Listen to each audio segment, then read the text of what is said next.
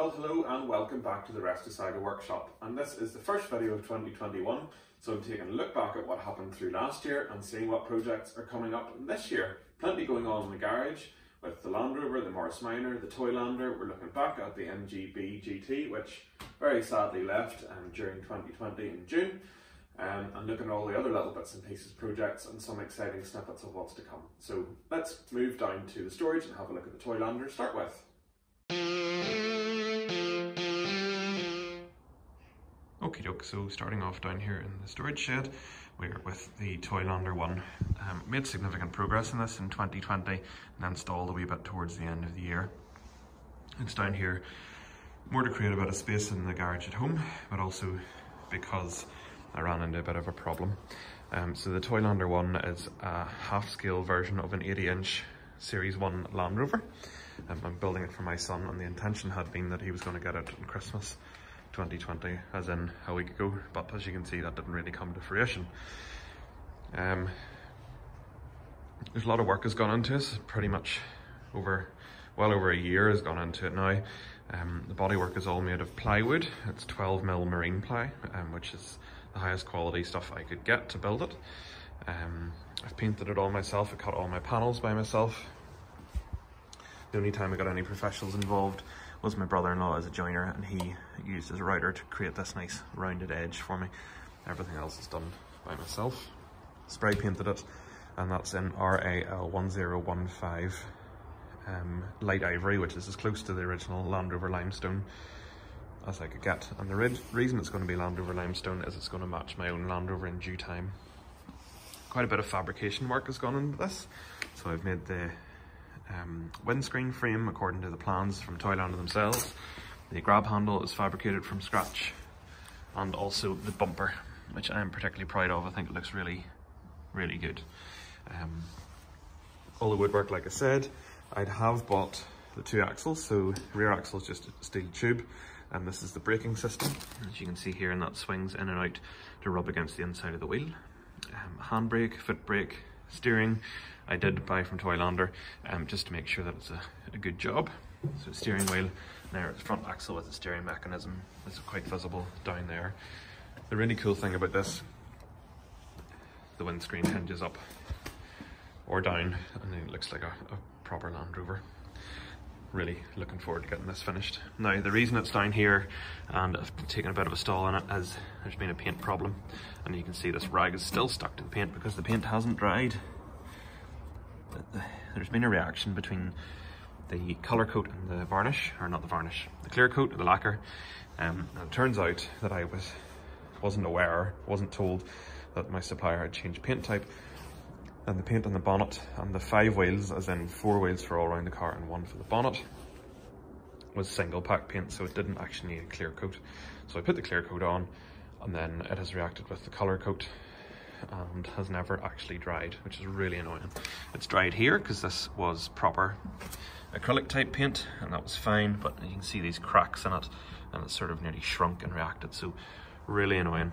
Um, so what I'm going to do is take the bonnet off, take the four or the five wheels again, and strip the paint off, which is pretty heartbreaking because not only does it cost time but also money. I'll have to take all the fixtures and fittings off to make a proper job of it. Um, so once the Land Rover is back on four wheels again, um, that project, part of the project is done and I'll get back to the Toylander and I want to get it finished for this summer so my wee boy can enjoy it. So unfortunately, yes, it wasn't going to be ready for his Christmas present but um, it should be ready in due time. Hopefully be finished in 2021. So that's job number one once the Land Rover's back up and working, is to get the Toylander finished. The other thing I want to improve is this tailgate. Um, it's not particularly well fitting. There's quite a big gap the whole way around. Um, I did make it according to plan, but I just think I could make it a little bit better. So that's the other thing I'm going to do. Um, this is made of 12 mil ply plus a 4 mil, so that's obviously 16 mil. Um, against this 12 mil here, there's obviously going to be a step. Um, the top plate here doesn't quite fit, so I'm hoping to get another sheet of 12 mil ply. In fact, I have some spare sitting at the back of the trailer. And I'm going to get my brother-in-law once again to see if he can router out these squares for me. I think it would look really smart and it would fit flush with the back panel and just really work better. Um, other things I have to do to this is buy two motors and two batteries. It's going to be the 24 volt setup. It's going to be expensive, but um, it's going to be worth doing. So all the electronics still have to go in. That's the most expensive bit. And then that's pretty much it. Um, a bit of wiring, get the wheels on, and that should be us. So not a lot left to do, just some tedious time consuming correction work. And then we'll be on the road with the Toylander one, which I'm sure my son will be hugely excited about just while I'm down here, I'll talk about the trailer. It's not something that features all that often on the channel. Um, it's a 1950s Rice trailer and it was built to match my Land Rover. When I say built, it was restored. It is an original Rice trailer and I took it right down to the chassis and basically everything you can see bar the tow bar is new, the wood is all new, the frame is new, um, the wheels are the original, the mud guards are new, um, but the chassis is original and the axle is original. Um, so pretty snazzy. It doesn't actually get that much work. Um, I use it in the summer and take it to the beach and fill it with all my beach gear. It's very handy behind the car and it's nearly like a mobile changing facility, which is pretty neat, gets you a few looks on the beach. Um, so probably need a bit of maintenance this year, probably take the bearings out, get them greased, put them back in, check the clearances and tolerances, um, uh, rust proof the bottom of it, maybe get a coat of paint, but nothing hugely significant in terms of renovation work. With my own lander, we're going back to the limestone of the Toylander, this may need to change colour. Um, it was originally green completely, um, metal and woodwork, and then with sort of a greeny hood on it, but I might just do green and black um, because I'm not going to pay to redo that hood when it's perfectly fine. So that's probably what I'm thinking with that. I'm also going to start running it again with the hubcaps because there's no point in having the period correct hubcaps and not actually using them. Right, let's go and have a look at the Morris Minor. Okay, so the 1954 Morris Minor hasn't featured a whole lot on the channel this year, um, mainly because it's been behaving itself very nicely and hasn't required much work. Um, as you can see, it's up here in its winter home. It's nice and warm in there and it lives in its little trickle charger. Hasn't been out much recently on salty roads. I tend to look after its bodywork. Two and a half years of lying underneath it with a MIG welder will do that to you. In terms of what's coming in the year ahead for this, um, I would like to put poly bushes in the rear suspension. In 2019, I um, did put poly bushes completely through the front suspension and it, and it, really transformed the handling at the front end of the car, but I think the rear of the car could really do with some polyurethane bushes, so that's a job. Won't be particularly difficult to do because I suppose there's only six of them, but as long as those nuts and bolts aren't too seized or difficult to get out, that's always the, the sticker with these things. The other thing that uh, we've noticed is whenever we take this out and park it pointing downhill, there's a little petrol leak from the tank. That's obviously a safety issue and that's another reason why it hasn't seen a lot of miles. So I have got a nice second-hand fuel tank, which is going to go into this if I can't repair the original. Um, I might be able to repair it just with a little bit of epoxy uh, JB Weld type compound because it is petrol resistant. Um, but it would need to be 100% fuel safe before we take it out again. So this is another job that needs done that's probably going to come along after the Toylander maybe. Once the weather starts to warm up we'll be wanting to take the Morris Minor out again because it is a favourite of ours and it seems to be fairly popular on the channel although for the number of Morris Minors on the road doesn't seem to be just as popular as the likes of the Land Rover or the MG was before we sold it in June and we'll come to talk about that in a little minute. Sadly missed here on the channel but yeah Morris Minor nice and reliable hasn't really required any major work since it was restored coming up in five years ago. Um, and still looks as good as ever. So yeah. Old faithful here. Back at the Land Rover then. And as you can see this is what I was talking about working my way through the front axle. This is my current sort of mini series here on the channel and the front axle and suspension are getting a free sorry, a free, and definitely wasn't free, a full rebuild and refresh um, to bring it up to scratch with the back axle, and that was my major job on 2020. Two new springs and a complete refresh of the back axle. And in order to sort of level it out, the old springs were quite flat and split and rusted, despite having only been on for 10 years.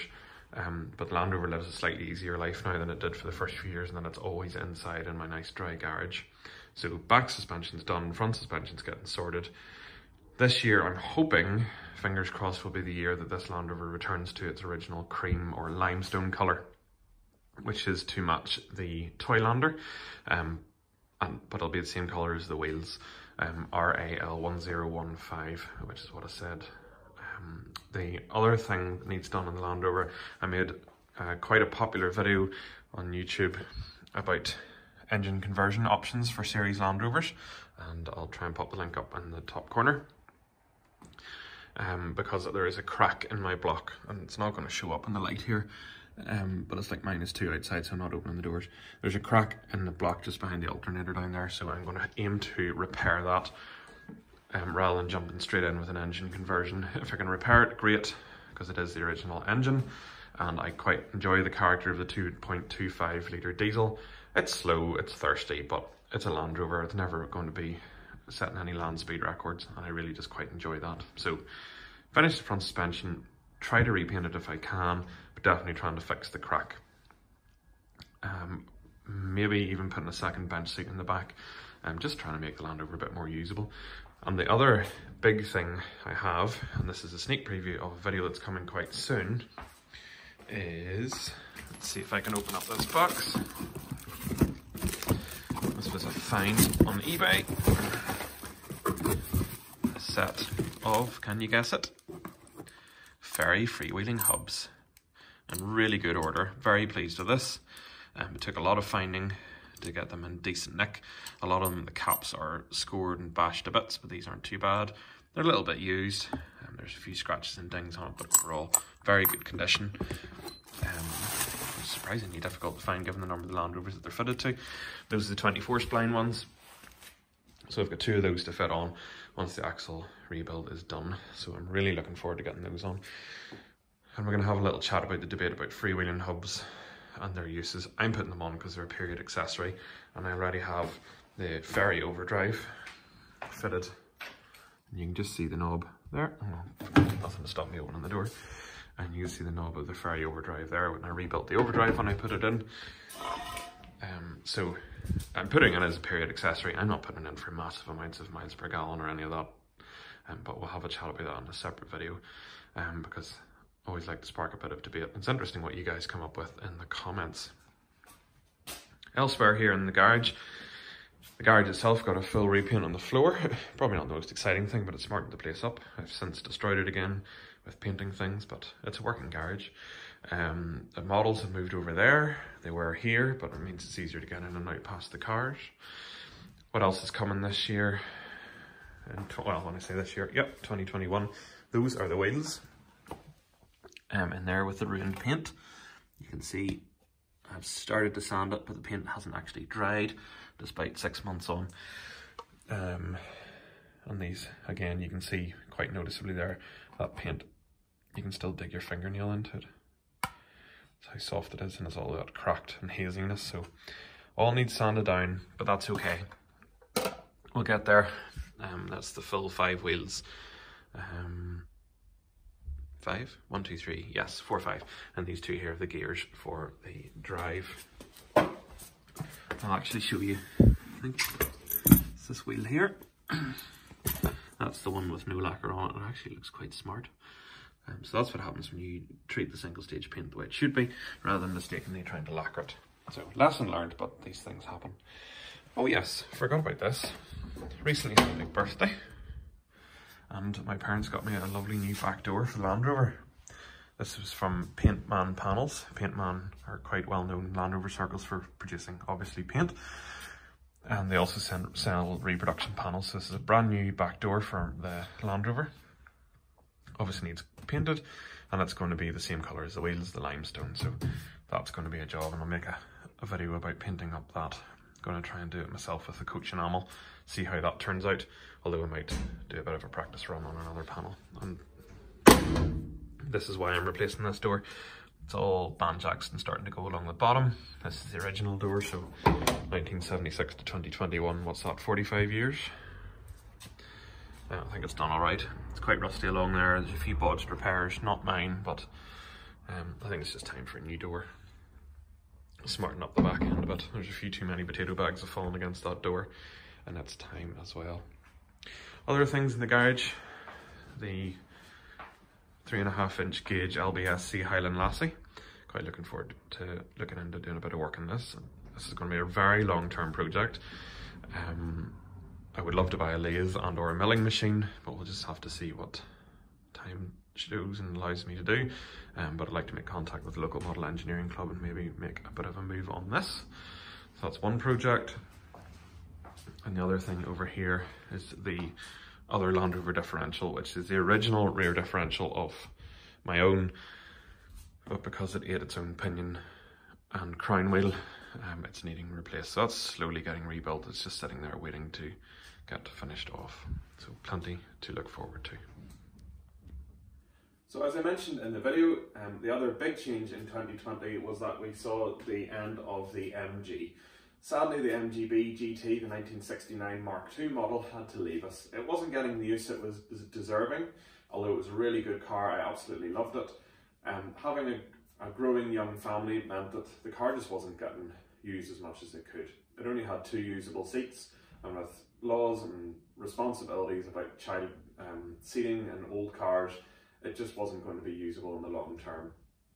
Old cars, and I'm sure you'll agree if you're into the classic cars, they don't appreciate sitting, and certainly the MG, when it got left for any period of time, there was always issues starting it up. Um, batteries were getting flat or bearings needing replaced, brakes didn't enjoy it.